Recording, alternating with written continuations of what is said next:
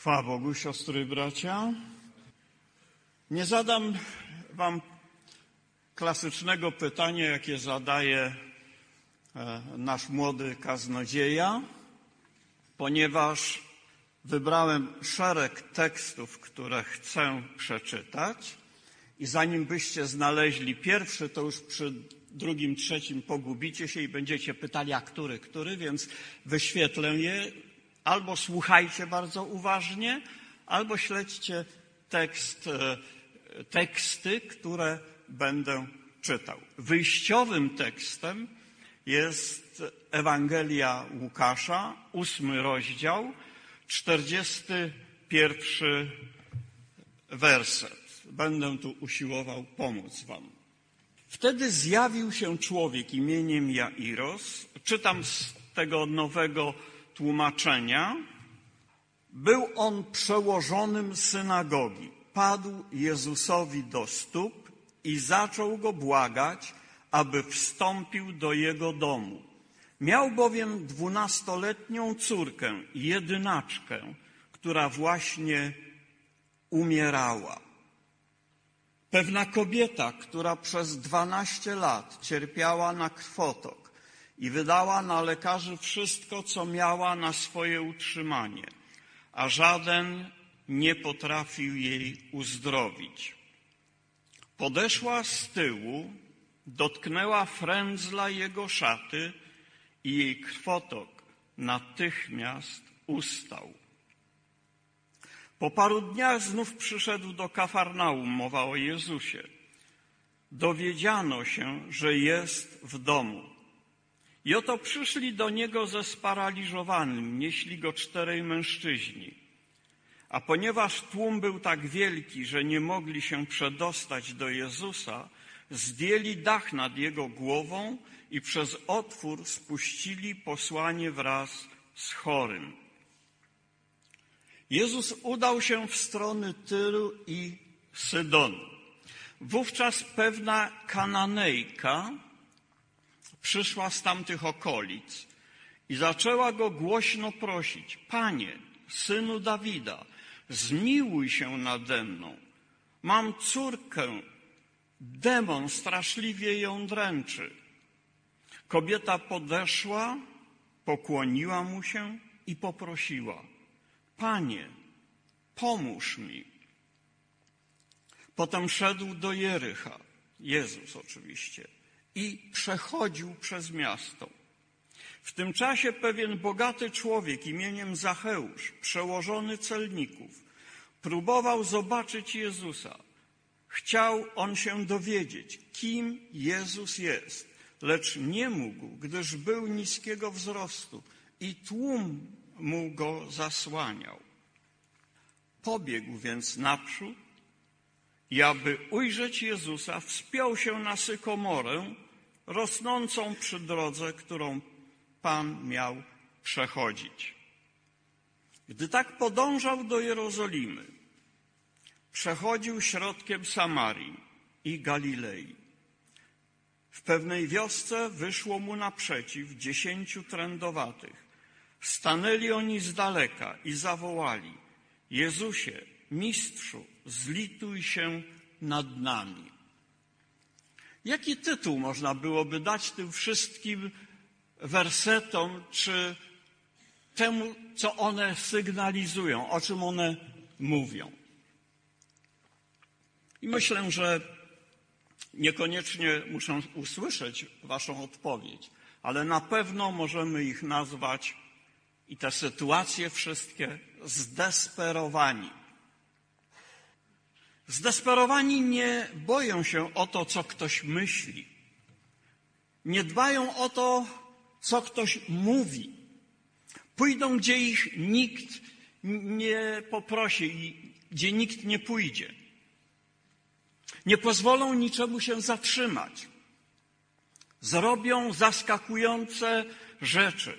Oderwą dach, przepchają się w tłumie, nie obrażą się nawet, gdy ich nazwą psami. Zrezygnują z godności dla spotkania z Jezusem. Zdesperowanych nie interesuje, jaka będzie opinia publiczna.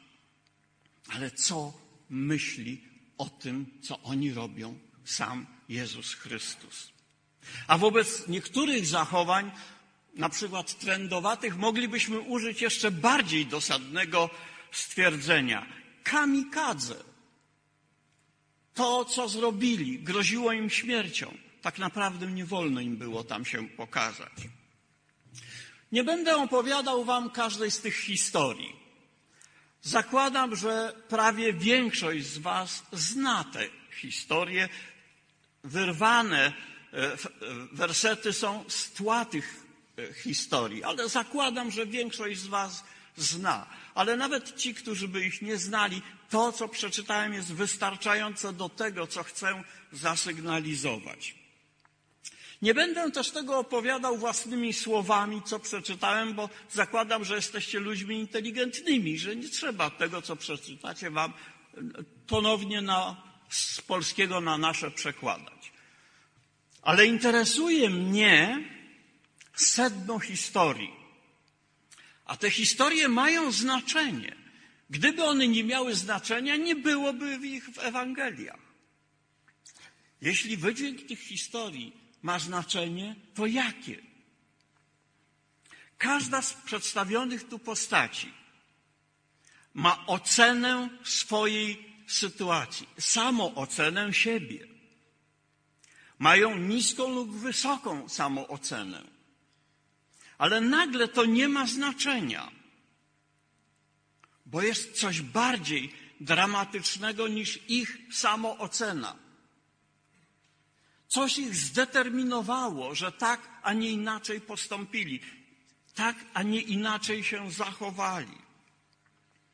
Potrzebowali pomocy i rozwiązania, którego szukali wyłącznie u kogoś, kto nie wprowadzi ich w ślepą uliczkę. Oni stanęli przed przysłowiowym murem. Wszystko się skończyło. Dalej nie ma przejścia. Moje pytanie brzmi, a jak my oceniamy swoje sytuacje, w jakich się od czasu do czasu znajdziemy albo jesteśmy? Bo tak właściwie każdego dnia jakaś jest sytuacja, jak je oceniamy, jaka jest nasza samoocena sytuacji, które zdarzają się nam.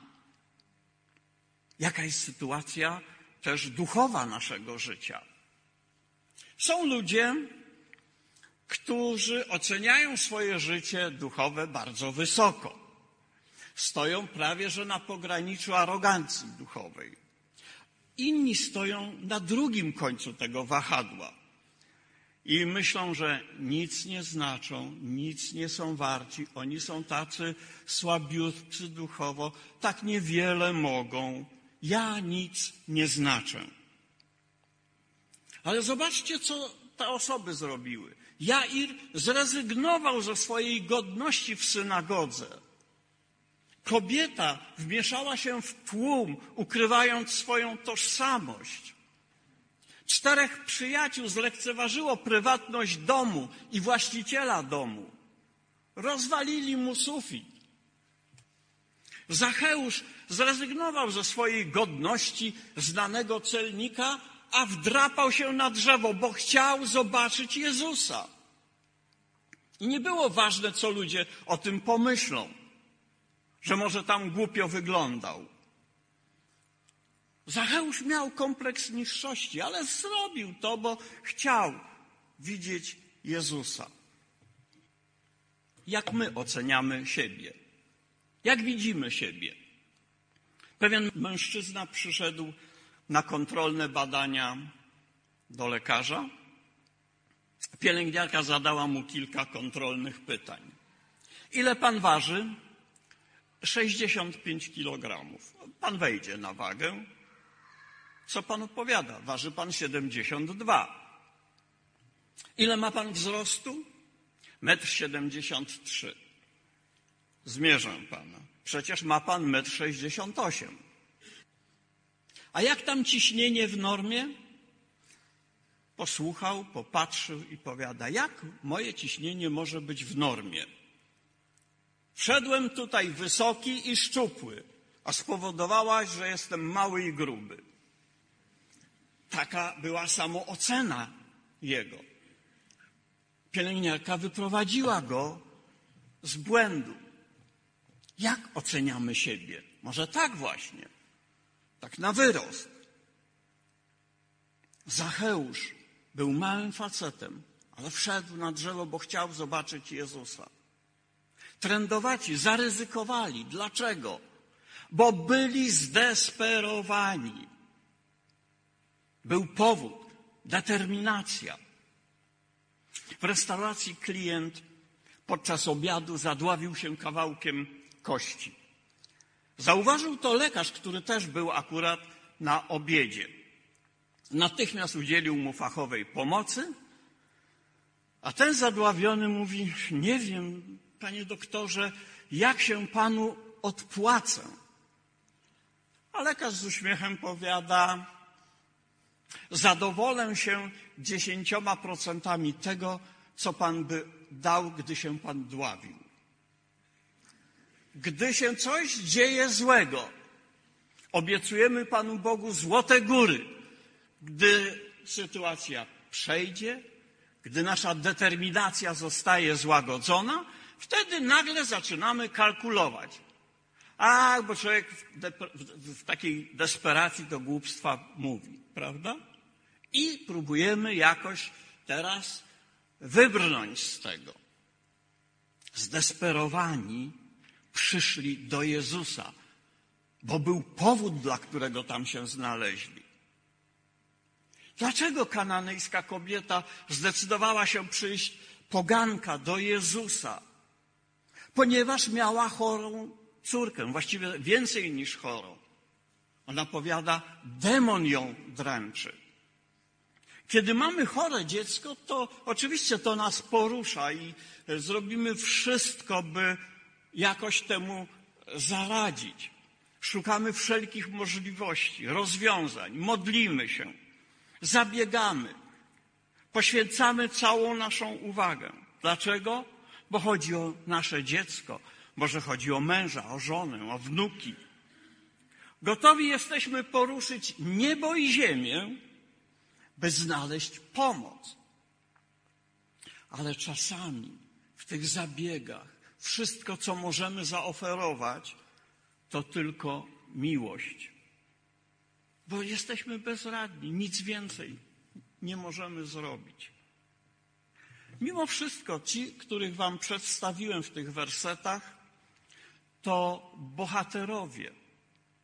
My możemy być wśród takich bohaterów, bo przecież słyszeliśmy, że Jezus uzdrawia chorych, wskrzeszał umarłych, wyrzucał demony, zmieniał życie ludzi.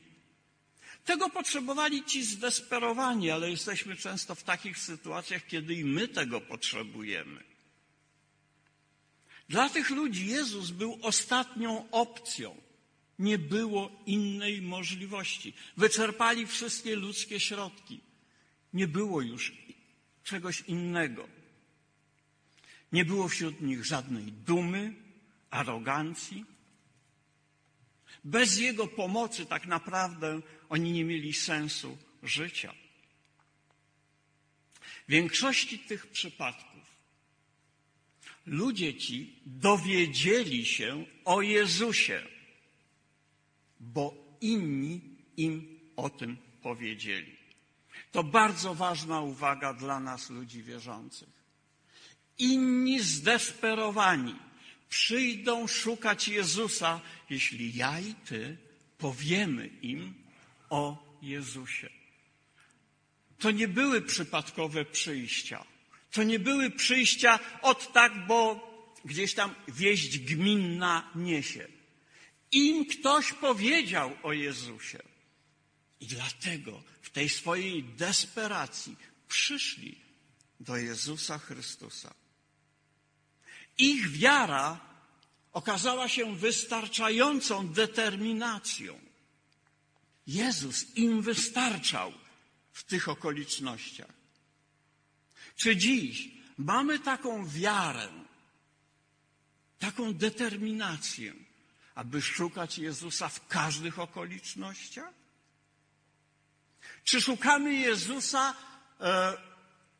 szukając jeszcze jakichś dopalaczy? Czy wystarcza nam Jezus, czy potrzebujemy, jak powiadam, dopalaczy? A czego chcieli? I co usłyszeli ci desperaci?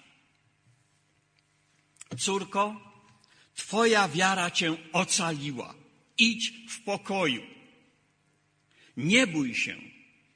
Uwierz, a będzie ocalona, usłyszał Jair. A Jezus, widząc ich wiarę, mowa o tych czterech, powiedział do sparaliżowanego: Synu, przebaczone są ci grzechy.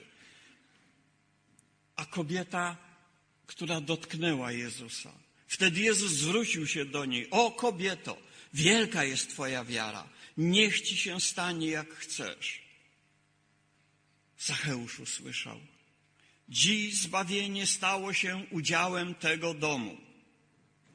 A trędowaty, który wrócił do Jezusa? Wstań i idź, Twoja wiara Cię ocaliła. Zaledwie kilku przytoczyłem, ale takich desperatów było więcej. Nikodem przyszedł w nocy do Jezusa, bo miał problem. On nie wiedział, co dalej z jego życiem, jakie jest rozwiązanie. Takich desperatów znajdziecie w Ewangeliach wielu. Znajdziecie ich w Starym Testamencie. Czasem godzili się z tym, co Bóg proponuje, czasem nie. Pamiętacie Naamana? A co to, nie ma lepszych rzek, tylko taki brudny Jordan mam się tam zamoczyć? U nas są lepsze, my mamy lepsze. No i co z tego, że mieli lepsze? Ale on miał tron, a Izrael miał Boga, który uzdrawiał. Wszyscy ci, którzy tam podeszli, z którymi Jezus z tymi desperatami spotkał się, usłyszeli wiara, wiara, wiara. Wiara jest walutą Królestwa Bożego. I to ważna myśl, pamiętajmy. Wiara w Jezusa Chrystusa jest walutą Królestwa Bożego. Bez wiary nie można się podobać Bogu. Bez wiary nic nie osiągniemy. Potrzebujemy Jezusa Chrystusa w naszych trudnych i łatwych sytuacjach. Determinacja tych ludzi musi być naszą determinacją w jakiejkolwiek, siostro, bracie, przyjacielu, jesteś sytuacji.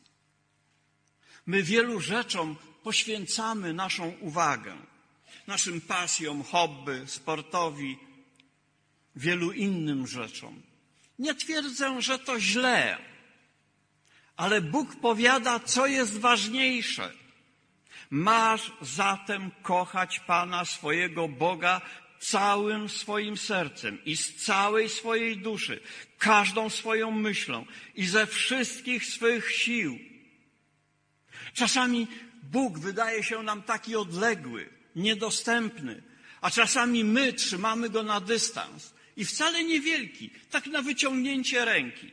Niby niedostępny, ale gdyby coś, w razie czego, to jest pod ręką. Na taki dystans umiemy Pana Boga trzymać. Generalnie nie jest nam potrzebny, ale w razie czego, gdyby, to jest pod ręką. Ale to nie ma tak być. Z całej siły, całym swoim sercem, całym umysłem masz szukać Boga, kochać Boga, mieć Go przy sobie, w sercu, nie na wyciągnięcie ręki. I czasami Bóg musi powiedzieć: Halo, jestem tutaj. Oczywiście to żadna przyjemność mówić o takiej prawdzie. Prawdzie, która stwierdza, sprzedaliśmy się nowoczesnej filozofii. Możemy robić, co chcemy, żyć jak chcemy, ponieważ kochający Bóg nigdy nie wyśle nikogo do piekła. Słyszeliście o tym? Co róż to słychać? Czasami są sytuacje, w których nie umiemy ludziom powiedzieć, dlaczego tak się dzieje w ich życiu, dlaczego to ich spotkało. Na te pytania, dlaczego, nie zawsze jest odpowiedź. Ale musimy przyjąć wiarą, że Pan Bóg jest Bogiem, który nas nie zostawił, który oczekuje, że przychodzimy do Niego i wołamy: Panie, pomóż, Panie, ratuj. Nie jak już się wszystko zawaliło. Byłoby lepiej, gdybyśmy wołali jeszcze wcześniej, kiedy wszystko idzie dobrze. Mamy przychodzić w wierze do naszego Pana, czy wszystko idzie dobrze, czy wszystko idzie źle. Mamy przyjść do Niego. Bo On oczekuje, On jest gotowy. On tych ludzi, którzy e, w taki czy inny sposób tam do Niego dobrnęli, nie zlekceważył. Chociaż w jednej sytuacji wyglądało to dość dramatycznie. Siostry i bracia, my w różnych okolicznościach, w różnym czasie doświadczamy takich sytuacji, które prowadzą do desperacji. Ale jest coś, co stanowi różnicę między wierzącym a przefarbowanym. Spoglądamy na Jezusa w wierze. Szukamy Jezusa w wierze. To wołanie tych zdesperowanych było, siostry i bracia, modlitwą. I to kolejna nauka. Kiedy wołasz, to się modlisz. Zaczął go błagać, aby wstąpił do jego domu. Panie, synu Dawida, zmiłuj się nade mną. Mam córkę, demon straszliwie ją dręczy. Jezusie, mistrzu, zlituj się nad nami. To modlitwy zdesperowanych, ale modlitwy wzywające pomocy Bożej. Czasami, gdy sytuacja jest dynamiczna, usiłujemy w modlitwie wyznaczyć Bogu mapę drogową. Jak On ma postąpić? Jak, kiedy, dlaczego i co ma zrobić w danej sytuacji? A gdy odpowiedź się opóźnia, gdy odpowiedź nie przychodzi natychmiast, przychodzi rozczarowanie, pytania, zarzuty. Ale Bóg nie jest zobowiązany na pstryknięcie palca odpowiedzieć. Te przykłady, które przytoczyłem z Ewangelii, świadczą o tym, że on nie lekceważył ludzi, że on reagował. Może z opóźnieniem, może oni chcieli, żeby to było inaczej. W sytuacji Jaira opóźnienie przyniosło katastrofę. On miał pewien plan, zaplanował, jak to miało się odbyć. Powiem Jezusowi, on przyjdzie do domu, uzdrowi moją córeczkę. Ona umiera. I taka myśl, jak ta kobieta śmiała zatrzymać Jezusa? Moja córeczka umiera. Skoro ona 12 lat chorowała, to nie mogła jednego dnia poczekać? Moje dziecko umiera. Katastrofa. Ale co mogła myśleć ta kobieta? Jair to ktoś. Jezus z nim porozmawia, a ja? Co ja znaczę? Nic. Muszę się jakoś dostać. Muszę, to jest jedyna okazja, to jest jedyna możliwość. Muszę go dotknąć. Chcę powiedzieć Wam, siostry i bracia, że Chrystus jest wrażliwy. Nawet na Twoje delikatne dotknięcie zareaguje, odpowie. On zna potrzeby każdego z nas. On wie, co jest w Twoim sercu, jakie przeżywasz burze, jakie niepokoje. I On wie, jak temu zaradzić, jak odpowiedzieć. On wie, w jakim jesteś miejscu swojego życia, w jakiej sytuacji. Ta kobieta nie tylko otrzymała to, na co oczekiwała, ona została uzdrowiona, ale ona też została uratowana. A to coś więcej niż uzdrowiona. Kochani, gdzie możemy pójść, jeśli jesteśmy zdesperowani, jesteśmy w trudnej sytuacji? Gdy wszystko się wokół wali i myślimy, że Bóg nas opuścił. Gdzie możemy pójść? Podpowiem. Idziemy tam, gdzie święci się zbierają. Pewien doświadczony kaznodzieja powiedział, dusza, która idzie sama, wędruje wzdłuż granic piekła. Nie chodź sam, nie chodź sama. Mamy zbór, mamy kościół. Szukaj. Razem z tymi, którzy są Twoimi siostrami i braćmi, rozwiązania przed Bożym obliczem, odpowiedzi przed Bogiem. Potrzebujemy spędzać czas z ludźmi, którzy będą nas zachęcali, którzy będą wsparciem, pomocą. Nie słomiany ogień. Dziś góry przenoszą, jutro kretowisko się przewracają. Nie o takich mówię wierzących, ale o tych, którzy naprawdę góry przenoszą, którzy będą dla Ciebie wsparciem, którzy będą płakać z płaczącymi i radować się z radującymi się. Pomyślcie o tych czterech, którzy opuszczali tego sparaliżowanego. A gdyby jeden z nich się wyłamał, powiedział, a co my to robimy, co za głupota? Dach rozwalać, tutaj niszczyć komuś mieszkanie, a ja tam nie trzymam tego sznura. Katastrofa. Pamiętacie, gdy spuszczano Pawła przez, w koszu przez mur?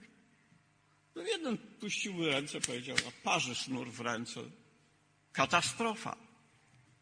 Ale oni trzymali razem tak długo, aż opuścili tego sparaliżowanego, aż usłyszeli, że jest uzdrowiony.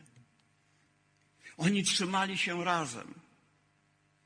My, siostry i bracia, mamy trzymać się razem. Mamy tworzyć społeczność.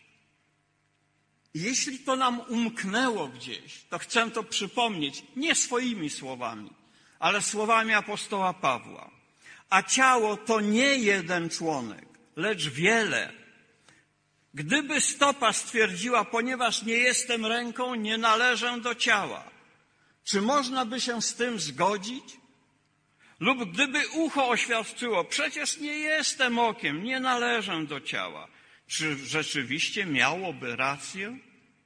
Tymczasem Bóg, tak jak zresztą chciał, zbudował ciało z różnych członków Gdyby wszystkie członki były identyczne, trudno byłoby mówić o ciele. A zatem członków jest wiele, ale ciało jedno. Nie może oko powiedzieć, ręce nie potrzebuję Ciebie. Podobnie głowa stopą. Obejdę się bez Was. Da się nawet zauważyć, że te członki ciała, które wydają się słabsze, są o wiele potrzebniejsze. To mówi apostoł Paweł w liście do Koryntian. On przypomina, czym jest ciało Jezusa Chrystusa. A czym jest zbór? To jest też kopia ciała Jezusa Chrystusa. Zbór to nie jest pastora, ich, ale zbór to jest nasz. To jest społeczność nasza, w której budujemy nasze duchowe życie. A dziś będę, jutro nie będę, bo mi się podoba, bo mi się nie podoba, bo mi się chce, bo mi się nie chce. To nie jest rozwiązanie. Dokonujesz amputacji ciała swego. Jesteś wtedy inwalidą. Bez ręki, bez nogi, bez ocha. No i tak odrzuć jeszcze więcej. Będziesz głuchy i ślepy. Kadłubek tylko zostanie. Masz ciało Jezusa Chrystusa. W ciele pojawiają się różne potrzeby. Od błahych do bardzo ważnych. Ale to ciało ma być wsparciem. Potrzebujemy siebie wzajemnie. Wierzę, że nie chcemy być zborem kontrastów, ale braterstwa. Żyjemy w czasach, w których wszystko chce się osiągnąć w ciągu kilku sekund, kilku minut. Ciągle spotykamy książki. Dwanaście łatwych kroków do szczęśliwego małżeństwa. Dziesięć łatwych kroków do sukcesu finansowego. Osiem łatwych kroków, by być pięknym, młodym i wysokim, tak? Chcemy ożywienia. Chcemy, by się kościoły rozwijały. Chcemy, by zbory rosły. To słowo ożywienie jest w każdym kościele, w każdym zborze używane. Ale ożywienie nie przychodzi w pięciu łatwych krokach. I problem polega na tym, że jeśli on nie przychodzi w tych pięciu krokach, to ludzie zaczynają być zdesperowani, się nic nie dzieje, tu nic nie ma. A skąd oni są? Powiem słowami proroka Izajasza. Skąd ci są? Księżyca spadli? Nie. Przyszli, bo ich ktoś przyprowadził. bo im ktoś powiedział, bo ktoś im głosił, bo ktoś ich przygarnął, bo ktoś ich przytulił, bo ktoś im dał życzliwe słowo, bo ktoś się z nimi pomodlił. Co zrobisz, gdy nagle twoje życie zostaje wywrócone do góry nogami? Oskarżysz Boga? Gdy twój religijny domek z kart nagle się rozpadnie, to co? Zabieram swoje zabawki i idę do domu? Desperacja może pchnąć nas w wspaniałe rzeczy albo w bardzo głupie rzeczy. Zawsze są te dwie możliwości. Nadzieja jest jednak bardzo praktyczna. Nadzieja daje co najmniej opcję życia.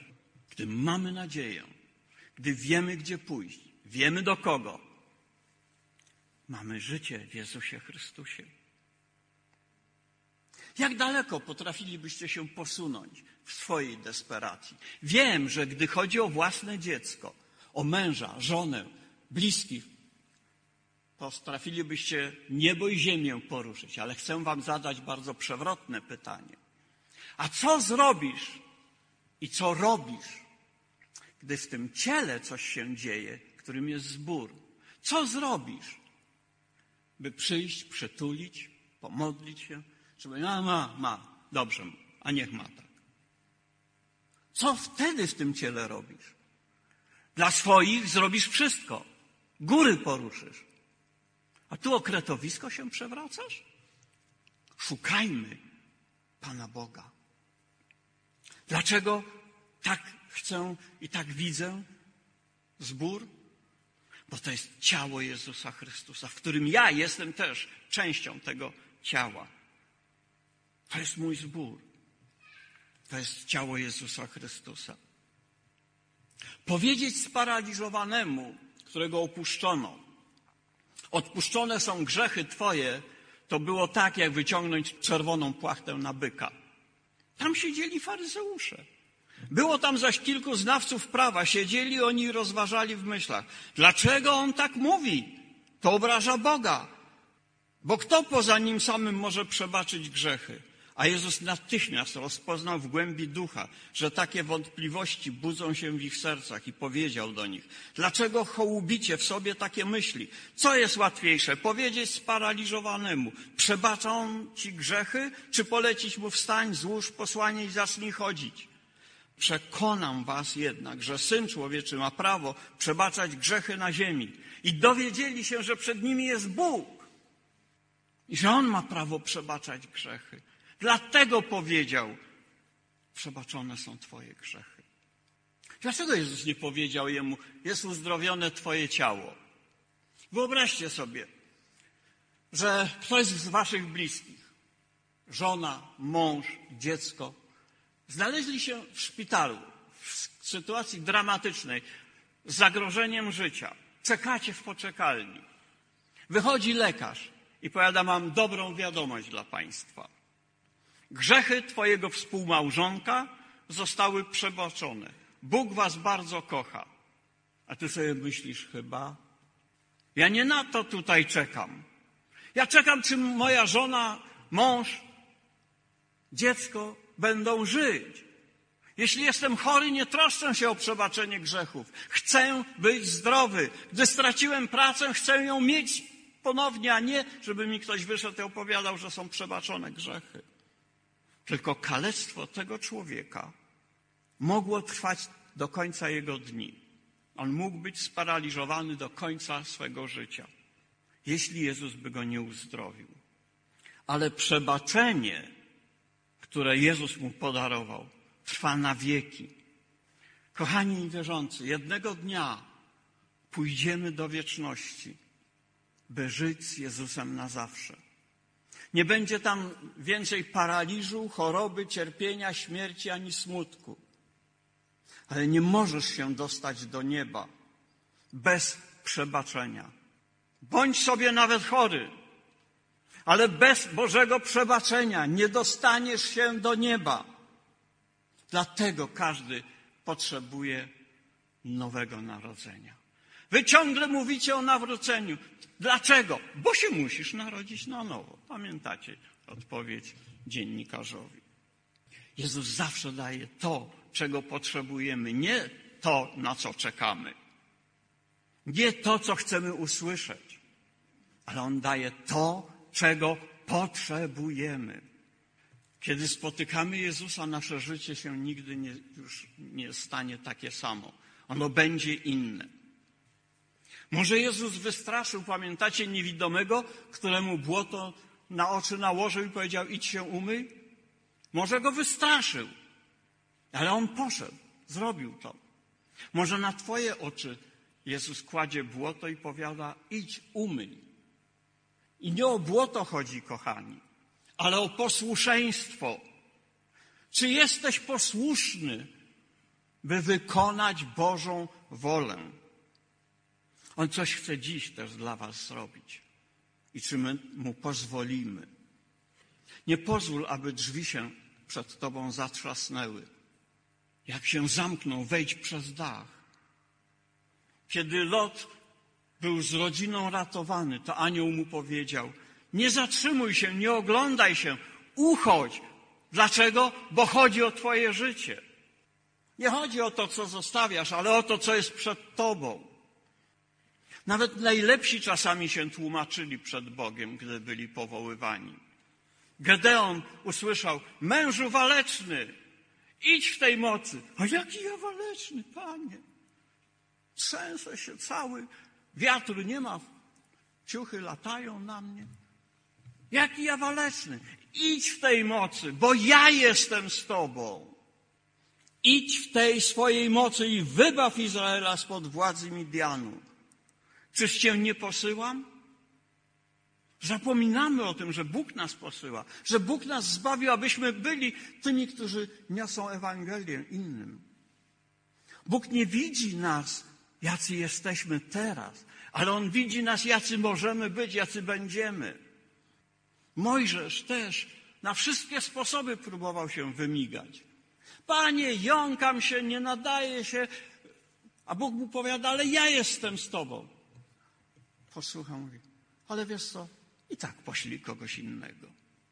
Taką miał nisko samoocenę. Ostatni z przykładów. Na pewnym treningu koszykówki trener młodym chłopakom rozdał piłki i powiada, rzucajcie do kosza z tych miejsc, gdzie by was gra zastała na boisku. Tam, gdzie stoisz, próbuj wrzucić piłkę do kosza. Jeden od razu wziął, usiadł na ławce rezerwowych i stamtąd próbował rzucać.